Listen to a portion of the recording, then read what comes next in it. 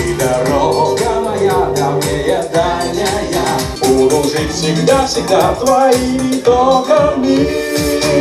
Утро для сотрудников ТТУ началось с песни, посвященной троллейбусу. Стихи написал Роберт Рождественский еще в 1962 году, а самарский музыкант Владимир Громов положил их на собственную музыку. Дополнительное вдохновение искали даже в звуках открывающихся дверей общественного транспорта. У нас, что называется, открылось второе дополнительное, еще более вдохновенное творческое дыхание. Оно, конечно, все вложилось. Вот. А, и было еще более интересно всю эту историю делать, потому что когда мы реально смогли звуки настоящего самарского троллейбуса в минусовку поставить, там слышно, как двери так открываются, и более того, электромагнитные колебания, то, как бы, на мой взгляд, это сделало песню гораздо более уникальной. Вдохновившись песней, сотрудники ТТУ отправились кто в свои цеха, а кто поздравлять пассажиров. На линию вышел новогодний троллейбус с Дедом Морозом и Снегурочкой. Они вручали самарцам подарки. Акция «Новогодний маршрут» была запущена пять лет назад. Раньше она проходила в трамваях. В этом году коллектив предприятия решил провести ее в троллейбусе. Ведь самарскому троллейбусному сообщению исполнилось 80 лет.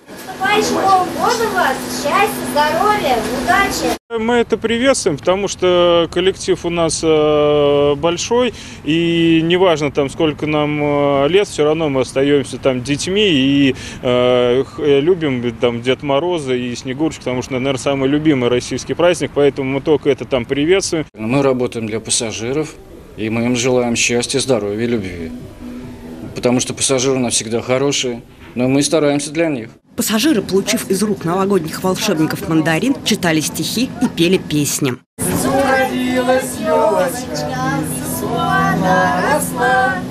Зимой и летом стройная, зеленая была. Не исключено, что новогодний троллейбус выйдет на линию еще раз, перед самым праздником. Сказочные персонажи поздравляют пассажиров и в трамваях. В преддверии Нового года работе общественного транспорта уделяется особое внимание. С 31 декабря на 1 января трамваи, автобусы и троллейбусы будут работать до 2 часов ночи. 1 числа транспорт выйдет на линию с 5 утра. В остальные дни новогодних каникул по графику выходных.